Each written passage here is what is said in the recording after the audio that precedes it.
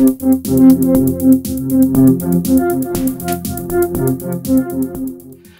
everyone, it's Elizabeth from Elpis Astrology at elpisastrology.com. Thanks for joining me today.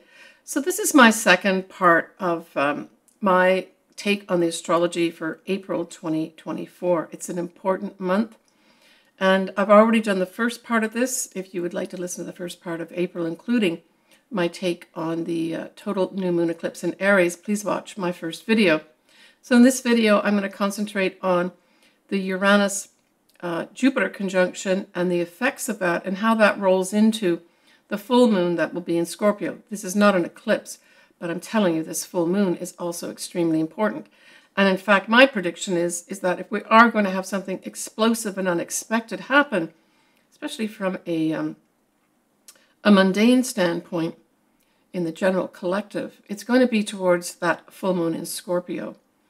I did do uh, an actual video on the Jupiter conjunct Uranus, and I include all sun signs as well as ascendants. I'll put the link below uh, for those that want to listen to uh, a little more detail. Um, all right, so let's start off with that.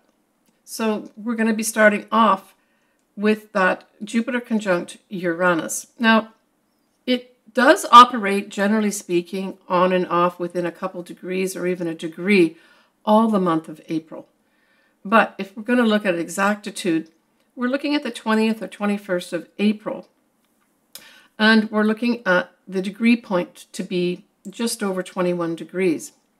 But there will be something happening at 22 degrees too that is in relation to the full moon in Scorpio. I'll talk about that in a minute. So what is this talking about?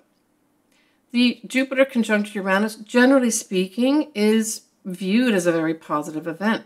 Jupiter likes to bring in big benefits. You can almost say that he's like Santa Claus or Father Christmas.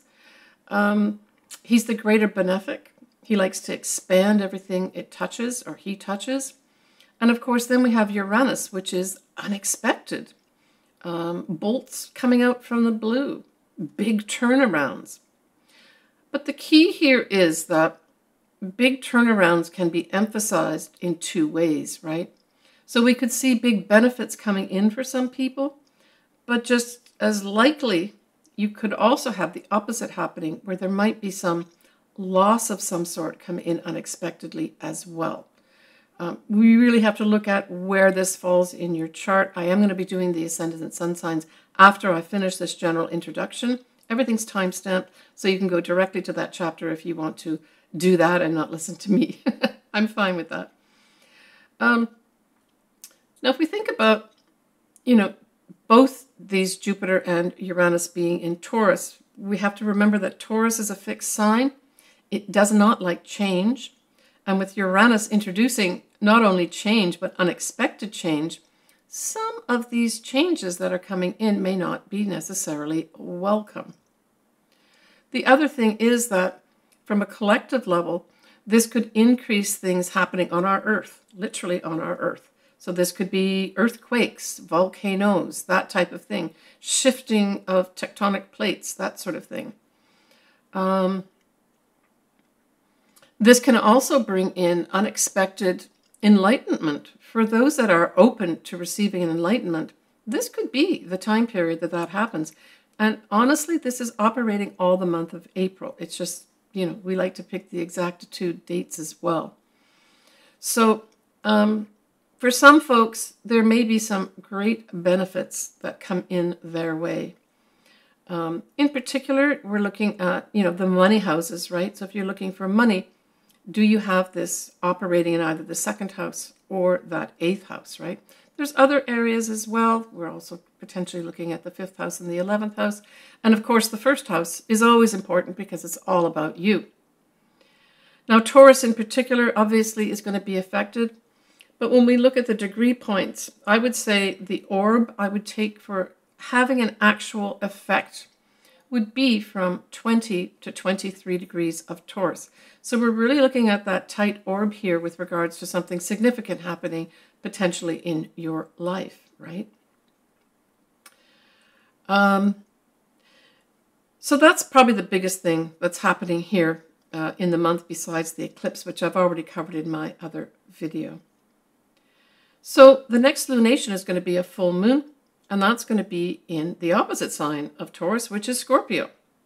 So we have a full moon in Scorpio at 4 Scorpio, 17 minutes on the 23rd of April at 4:49 p.m. Pacific Daylight Time. Now hold that thought. Just prior to that full moon happening, we also have the full moon squaring Pluto at 2 degrees. So remember the full moon I've just said is at just over 4 degrees of Scorpio. So we want to look at the time period just prior to that full moon when it's at 2 degrees of Scorpio where there will be an exact square with Pluto.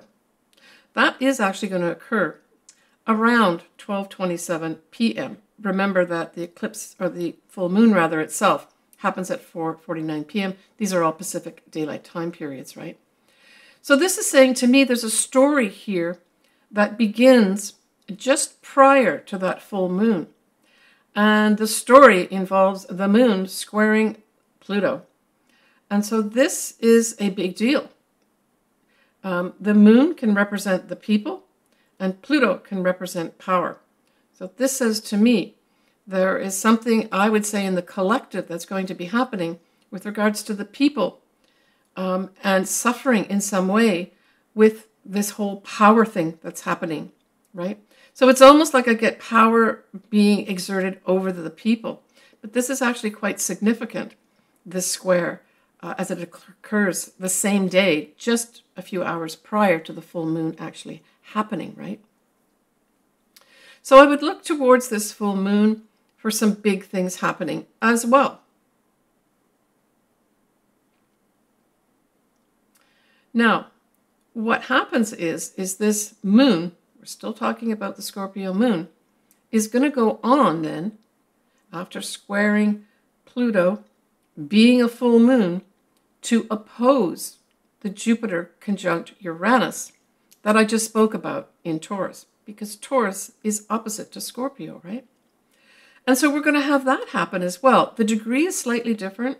We're looking at 22 degrees, and the actual day we're looking at is the 25th of April, and the time is 3 a.m.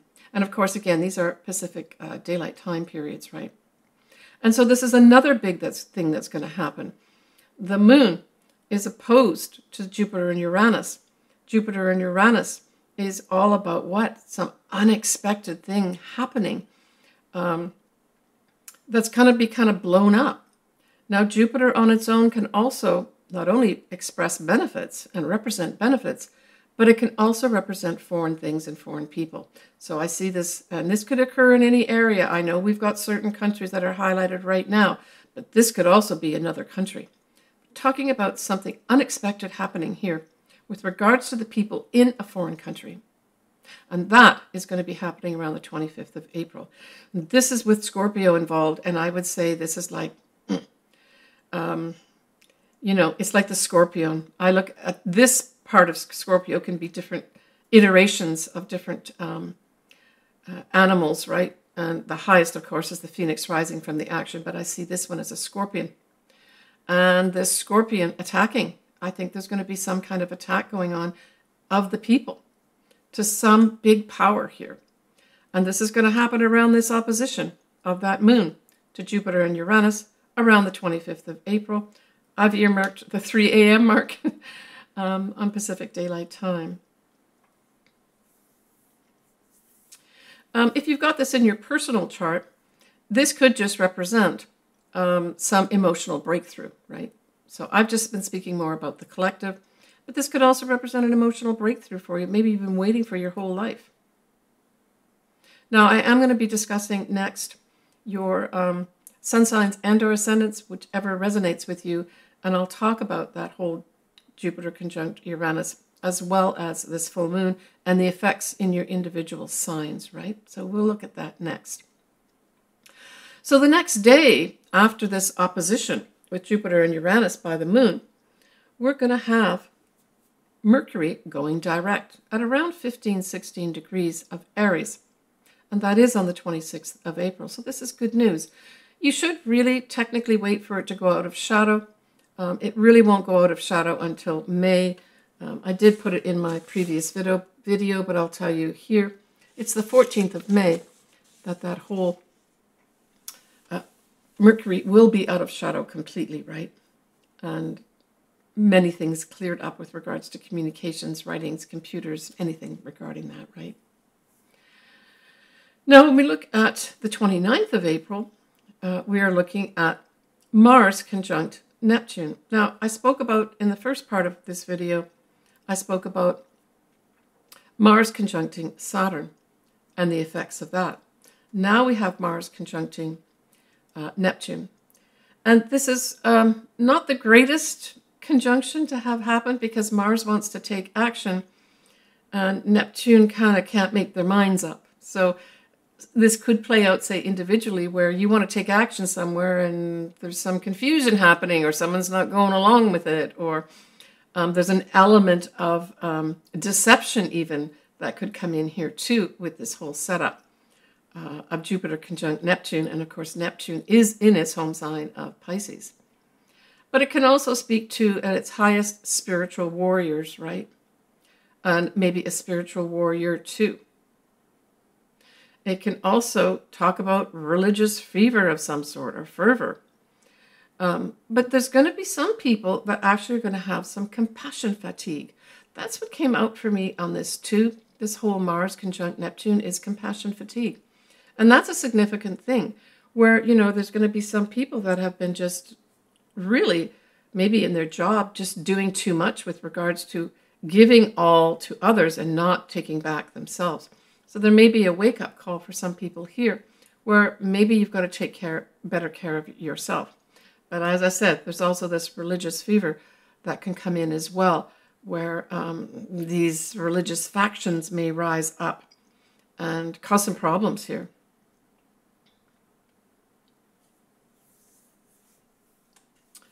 All right, let's take a little peek at May. So in May, I talked about Mercury being out of shadow in May. We're going to have a Venus square Pluto at uh, 2 Taurus and 2 Aquarius. Uh, we're going to have a new moon in um, Taurus as well. So for some Taurians that maybe have some big uh, events happening in April, the actual new start may actually be at that new moon in Taurus. We're going to have a full moon in Sagittarius, and guess what? It's at 2 degrees. And guess what? It's going to be squaring Pluto too. So, although it's not as action packed uh, with regards to being in the eclipse season, we certainly have May that's also going to have some, you know, butting of heads with people in power, and especially with Sagittarius, that full moon, talking about foreign nations, right? All right, folks, my next thing I'm going to do is do your ascendants as well as your sun signs.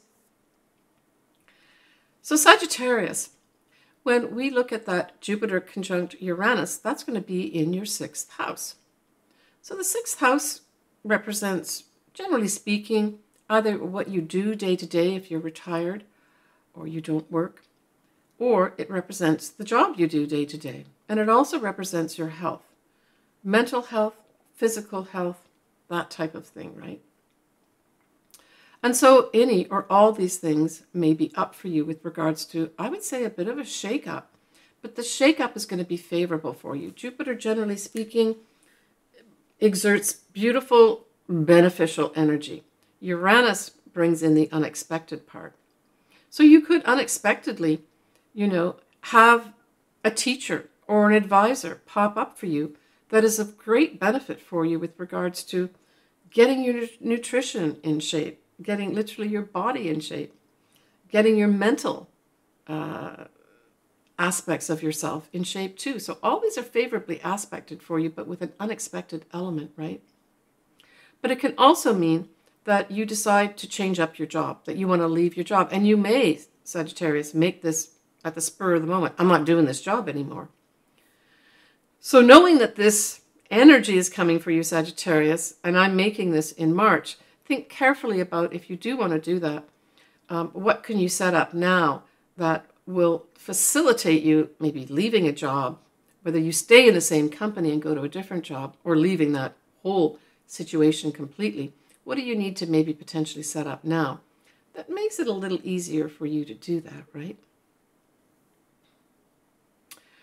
Okay, when we look at that full moon in Scorpio, well, that falls in your 12th house. And so the 12th house represents a number of things. It can represent anything to do with behind the scenes. Now, Scorpio as a sign tends to be very secretive. So there's going to be some Sagittarians that'll be working uh, on some kind of secret like behind the scenes like activity of some sort. And this could occur in places like hospitals, ashrams, any government offices. All these things, any of these things, could be highlighted for you at this full moon. Um, it could mean that um, you also have a big illumination of your psychological self. Scorpio is very associated with any anything behind the scenes, underground, inside our heads, that type of thing. So there may be, this would be an awesome time maybe, to even though it's a full moon in Scorpio, um, to look at aspect of your psychological self and maybe see what might be tripping you up here that you can clean up and let go of, maybe with the assistance um, of someone that can actually give you professional advice of some sort. Because that moon in a few days will go on to oppose uh, Jupiter and Uranus at 22 degrees of um, Taurus, there could be somebody that comes in here that you enter into um, a, an arrangement with, and this could be a therapist, that helps you figure out that stuff inside your mind. But it could also equally have you ending. So this is just a full moon in Scorpio. It's not an eclipse. It could have you ending um, maybe something that you've been doing, um, maybe in the metaphysical world. Maybe you finish off uh, some kind of education and you're ready to go to be a professional with regards to something metaphysical or a shaman of some sort, right? It could also be that you've been off at an ashram and you wrap favorably wrap up your visit at this ashram. Um, and it's of great benefit to you in terms of, you know, who you are inside. All right, take care of yourself, Sagittarius. All right, folks, I'm sending everybody um, a lot of positive energy and um, real optimism is what I'm going to say. Real optimism for big change uh, in our lives in April that brings us the things that we need to get on the path that we need to be on um, and to manifest some things in our lives uh, that help change our lives around for the positive, right? So take care of yourself, everybody. As always, I like to do people's charts. All my information is below. Please contact me. If you've got any comments, you know I always like listening to those too and reading them. Take care, and we'll talk to you soon. Hi, everyone. It's Elizabeth here from Elpis Astrology. I'd like just to give you a little more detail about um, what I do uh, with regards to the services I can offer you. Certainly, I suggest that um, if you've not had your chart ever, do- ever done, this would be a good time to do it um, contact me. All my contact de- details are below, and we can uh, talk to each other back and forth and arrange something for you. So I offer different services. I offer um, a full astrology report for two of my services. One is where I look at both your natal chart and your progress chart in detail. I accompany that with a physical chart as well as your charts that I'm looking at for that year. I do what's called a transit chart, which really involves your progressed chart for that year in combination with your natal chart. I give you a report for that as well. Typically, I'd be updating an existing report for you. I have a lot of clients that come back to me yearly. And then the other service that I offer is a combination of um, taking a quick look at the astrology, typically would be a year or two year, what stands out for me, looking at that and then adding in at the end a tarot card reading to accompany it. I record that and send that to you pre recorded. So that's not a live session. The other two that I do are live session.